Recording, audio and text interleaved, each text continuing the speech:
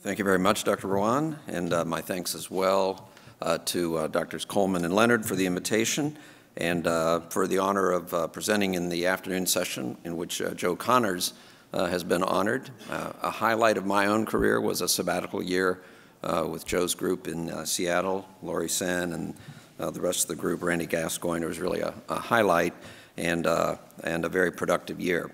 So what I'm going to do is try to frame for you uh, where we are in mantle cell lymphoma with briefly going over current therapies for the biologic spectrum of disease, and then how do we integrate some of the newer agents uh, into uh, uh current treatment approaches. Um, the, these are my disclosures. So there are a number of challenges in mantle cell. Uh, first of all, even though it's a very specific subtype of non-Hodgkin lymphoma with a, a, particular molecular marker, the 1114 translocation in virtually all cases, it nonetheless has a real uh, biologic and clinical spectrum. Uh, we need better treatment endpoints. Uh, some of that may be PET adapted, but probably better. Uh, and I'm not going to go into this a great deal today, are the use of uh, things like MRD, to, um, as a potential treatment endpoint. Um, we want to improve the duration of response since most patients will relapse um, uh, with their disease. Uh, we need to optimize use of stem cell transplant, targeted agents, uh, reflecting Dr. Cheson's talk earlier today, moving toward uh, uh, chemo-free regimens by leveraging some of these newer agents is uh, is a, a, hope that we all have. And ultimately, since most patients with this disease are not cured, we would certainly like to improve uh, in that regard for these patients. So as everyone in this room knows, typically uh, this is a somewhat male-predominant subtype of uh, non-Hodgkin's. Average age is in the 60s. Uh, they usually present with advanced disease. Uh, MIPI scores, the mantle cell IPI, can correlate with outcome. Uh, but as Dr. Leonard said, with large cell, we don't really risk adapt therapy based on MIPI. Um, extranodal disease is common in this disease, in this uh, subtype, especially the GI tract. And we know there are uh, markers of more aggressive disease, typically those who present with the blastoid or blastic variant, uh, complex karyotype, P53 mutation, uh, as well as an elevated uh, Ki67 uh, proliferation marker above 30%. Pathogenesis early on, the 1114 translocation puts uh, immunoglobulin heavy chain promoters next to the cyclin D1 gene, leads to its overexpression, and then there's a cascade of other um, mutations that accumulate uh, as uh, the disease uh, progresses. It's important to recognize that there's an indolent subtype of uh, mantle cell uh, and it can present clinically very much like CLL, splenomegaly, a leukemic phase, marrow involvement, but often very little, if any, nodal involvement. And these patients uh, with this phenotype of disease can have a very indolent course or, over months or even years. Uh, and sometimes I see them in consultation because, in general, mantle cell has a bad reputation. People see the leukemic phase and it makes, you know, raises a concern that this is a particularly difficult subtype, but, um, but uh, recognizing it can allow you to follow them. And there are some molecular markers uh, that, that characterize this as well, but typically it's a clinical diagnosis. So how do we manage this uh, disorder in uh, 2019? So for the subset of about 20% of patients with a very low burden of disease, uh, they have this indolent uh, phenotype presentation. They're asymptomatic, uh, as Peter Martin uh, published from the Cornell group some years ago. Uh, they can be followed, often for months, like I said, sometimes for years, without treatment. Uh, for younger, fit patients who need therapy, a current standard is to use a high-dose cytarabine-based regimen. Uh, the one that we prefer is R-DHAP, uh, where we, and for us, we substitute oxaliplatinum for cisplatinum. It's only four cycles, auto transplant consolidation. And then in a study uh, that was in the New England Journal uh, in early 2017 by the French group, uh, if you do three years of maintenance therapy, there was uh, both an impressive progression-free and overall survival benefit for maintenance after auto transplant. One of the questions is, and I'll address this in just a second, is, well, if you've already gotten a really deep response to your induction therapy, can you just go to maintenance and not do the high-dose therapy and a stem cell transplant? Uh, so that's an unknown as of now. And of course, it's not essential. There are, you can get good responses with other regimens without high-dose Ara-C. Um, and so many will treat patients with BR or uh, one of the other regimens. Now, this is the current U.S. intergroup trial that's addressing the question of stem cell transplantation. Tim Fenske uh, with the ECOG uh, group is uh, running this. So here's the way it works, and this is an important one for each of you to keep in mind in your own practice. So a patient with, who's transplant eligible by age and fitness, who has newly diagnosed mantle cell needing treatment, you can use any induction therapy you wish. Um, uh, but at some point after diagnosis or treatment gets going, then you want to refer that patient to a center where the study is open. Uh, testing is done to see if they have a biomarker, a molecular marker for MRD testing. Uh, if they do not, they're not eligible to go on to the study. If they have an informative MRD marker, um, uh, then you're enrolled in the study.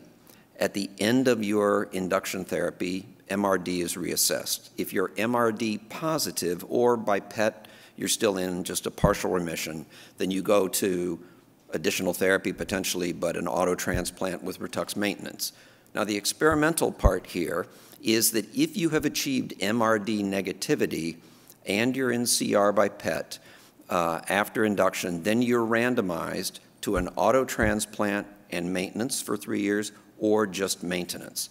So this is trying to get at, again, questioning, questioning whether we can de-escalate therapy for people who have been very uh, chemoimmunosensitive uh, up front. Now, what about older patients, non-transplant eligible? So there's a variety of, of, regimens. I won't read them, but they're listed here. Um, uh, so, you know, the challenge with mantle cell, or one of them, is you can get good responses to many different regimens. The challenge is keeping them in that remission. So that's why we're looking for deeper responses or maintenance approaches that will achieve that. And I'll talk in particular about the R squared regimen that Dr. Ruan um, uh, recently updated uh, in just a minute. So here's what we might expect. Now these, uh, with these standard regimens, if you will, uh, so these are uh, patients who did not receive maintenance rituximab, and you can see the overall response rates, as I said, are quite good. They're in the 90% range. Complete remissions, however, are about 50%. And you can see that the PFS, especially after R-CHOP, is relatively short, 14 or 15 months. So they're, they're chemoimmunosensitive, but hard to keep them in a durable remission. Now, this is, I think, a really important study, uh, Dr. Ruan's that I just mentioned, for a variety of reasons. It's a, it's a you know, single agent, well, no, it was a multi-center study, wasn't it? Uh, so several centers contributed patients, 38. The overall response rate, this is front line, 92% to lenalidomide and uh, rituximab. The three-year PFS, you can see, was 80% with overall survival of 90%. And uh, recently in JCO, I guess about a year ago, uh, she provided the five-year update with an estimated five-year PFS of 64%, overall survival 77%. And from a hypothesis generating standpoint about where might we go if we want to look at non-cytotoxic regimens, so eight out of the 10 patients who remained in complete remission at three years were MRD negative. So it suggests you can get very deep remissions with this uh, doublet. Uh, toxicity is what you uh, might have expected. Those who relapsed still have an array of other treatment options available. So I think this is a very important um, uh, study as we think about how we might move forward in treating this. A, somewhat of a version of that is the uh, ECOG intergroup trial uh, where uh, patients who were not transplant eligible were induced with bendamustine rituximab with or without bortezomib, and then they went to maintenance for two years with either rituximab or rituximab plus lenalidomide. And uh, this study, uh, led by Mitchell Smith, completed accrual actually three years ago. But as of our ECOG meeting 48 hours ago, uh, we're still only at 89% of the events needed to read out. So it's anticipated uh, that we'll have this data probably sometime in the spring. Uh, Dr. Smith is presenting the MRD data without relating it to individual arms at the uh, upcoming ASH meeting. So what about relapse disease? So younger, fit patients, it's important for those individuals, if they are eligible for an allo transplant, that's their curative option. You can cure people with an allo transplant, not typically used in the frontline setting, however. Uh, for older, less fit patients, of course, as with any cancer we're treating, it depends what they've had before. We like to get them on study. There's a variety of active targeted agents, which I'll go through for you uh, now. So you've heard a lot about these agents. You're familiar with the B-cell receptor pathway, which is shown in simplified form here. But there are a variety of targetable agents or, or, or uh, enzymes, most, mostly tyrosine kinases, in this pathway. So fostamatinib, um, the BTK inhibitors, the PI3 kinase inhibitors that you heard about this morning, mTOR inhibitors, uh, proteasome inhibitors, including the oral ixazomib, uh, and uh, venetoclax, a BCL2 inhibitor. So there are lots of drugs that have single agent activity. The question is, how do we leverage these in combination with with antibodies, with chemotherapy, with combination targeted drugs. That's where a lot of the effort is in the field right now. Here's a, a slide just to show the array of responses you can see with BTK inhibitors, venetoclax, or the combination of ibrutinib venetoclax, uh, uh, high response rates, uh, uh and uh, most of them are maintaining those responses, at least with short follow-up. I'll go through with you some data on BTK inhibitors and venetoclax just to sort of frame where we are and what we might expect with those. In the uh, relapse setting, this is a pooled analysis of three different ibrutinib studies in relapsed uh, mantle cell. And what it shows is PFS on the uh, left, overall survival on the right, and the two curves, the better looking curve, are those patients who had had only one prior line of therapy. Uh, so you can see they did significantly better than those who'd had two or more uh, lines. Now, acalabrutinib, as you know, is a next-generation BTK inhibitor. It's FDA approved for mantle cell if they'd had a prior treatment. It's twice-a-day dosing. Uh, it's a more specific uh, BTK inhibitor, as you can see from these uh, plots at the bottom. And in the phase two study that uh, was published in Lancet a little over a year ago, you can see an impressive uh, response rate, uh, including complete responses uh, looking better than what we saw with ibrutinib. But if you compare these studies, they're not uh, the same patient populations. Um, so compared with uh, the ibrutinib data that I just showed you, you can see that um, the, uh, there were more patients with high MIPI scores. There were more patients with uh, prior stem cell transplant. So it, it does, excuse me, it does appear that ACALA has a better safety profile. Uh, atrial fibrillation is infrequent. Bruising, bleeding is less. You do have challenges with some patients with severe headache, especially in the first weeks of therapy. It seems to respond to um, uh, caffeine. So uh, uh, that can help uh, get patients through that period. we can't say that it's a more effective agent as yet than ibrutinib, um, but there is a study that has completed accrual, not yet reported, for high-risk CLL uh, of ibrutinib versus acala. So I think that'll give us a better sense of, of uh, how these might compare in terms of outcome and tolerability. There is a third BTK inhibitor that's in development, uh, zanubrutinib. It is in many ways a little more similar to Acala in terms of its side effect profile. It's also a twice-a-day agent. At the Lugano meeting this year, uh, Professor Song uh, from Peking University presented the study of 86 patients. Um, I don't know how many of them had had prior uh, stem cell, and you can see here that um, About 10% of people came off due to toxicity. The response rate, 85%, a very high complete remission rate.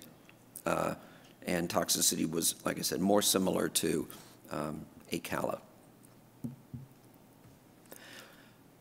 Simple things to do to try to get better responses, higher CR rates with uh, a BTK or to put it with an antibody. Here's another Lugano study of 42 patients. They excluded the highest risk patients, blastoid, high Ki67. um, and you can see that the CR rate, um, instead of being about 40%, uh, as we see with uh, ibrutinib, it was about 69%, including MRD negativity. So switching to venetoclax, excuse me, the, uh, so this is a BCL2 inhibitor that induces uh, uh, cells to undergo apoptosis. It's active across several types of uh, non-Hodgkin lymphoma. We would have thought that follicular lymphoma, that this would be a home run drug. I mean, they're almost all BCL2 translocated with the 1418. They express BCL2, but it's a pretty modestly active drug in uh, follicular, but it turns out to be have very good activity in mantle cell as well as CLL, which isn't shown here. If you look at the top, you can see the PFS and uh, overall survival for single agent venetoclax. It's important for those of you who've used it, you're aware of this, but this, this drug is, is uh, intensely potent for patients that have a high burden of disease, splenic, nodal, uh, circulating cells, any degree of renal insufficiency, you have to be very, very cautious about tumor lysis and uh, there have been deaths from tumor lysis in the early development. So to mitigate that, you use this uh, stepped up dosing, 20, 50, 100 to get to the target, which is typically 400. Now, what about putting ibrutinib and venetoclax together? There have been two studies uh, in mantle cell for that. This is the first, which was reported last year in uh, the New England Journal. So this study relapse refractory mantle cell, many of them prior stem cell transplant and relapse. They got a month of ibrutinib 560 a day, standard dose for uh, mantle cell, and then in the second month they had that ramped up venetoclax dosing, uh, and then they proceeded with 400 milligrams, and they stayed on both drugs uh, until toxicity or progression. Only 24 patients, but if you look at MRD uh, in the peripheral blood on the far right, you can see that some patients basically didn't respond well in terms of clearing all their disease.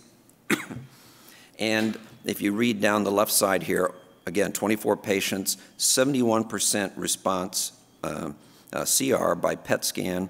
There were three non-responders even to this combination, and we have some insights now into why that resistance, how it's mediated. Progression-free survival is shown on the top. This is the other study in uh, mantle cell. So this was uh, uh, developed um, at our center from uh, some translational work looking at uh, mantle cell uh, cell lines and, and patient samples that also showed synergy. The strategy my colleague, Dr. Craig Portell, used in putting the study together was to start with venetoclax, excuse me, get patients to 100 milligrams, and then we add in varying doses of ibrutinib. And that will be reported at uh, ASH this year. Sorry. The, uh, there's a, an international study going on now of this combination called SYMPATICO. Some of you may be taking part in that, where it's ibrutinib venetoclax versus ibrut placebo. So there's been a lot happening in mantle cell. We've learned a lot about targeted agents uh, in this disease. Uh, we clearly have a long way to go, but I think as we understand the disease better, we'll have more rational approaches uh, to it. We know that there are certain bad actor subtypes, including those with P53 mutation, who are likely to fail uh, standard therapies, including auto transplant. Maintenance therapies and stem cell transplant itself, we may be able to apply uh, in a risk adapted fashion by using MRD testing um, and, you know, the future right now, there are lots of studies going on uh, looking at combining targeted agents, uh, minimizing standard chemo and transplant, and, uh, and to limit the duration of therapy, perhaps by uh, very effective combinations of targeted drugs. So again, my thanks for the invitation.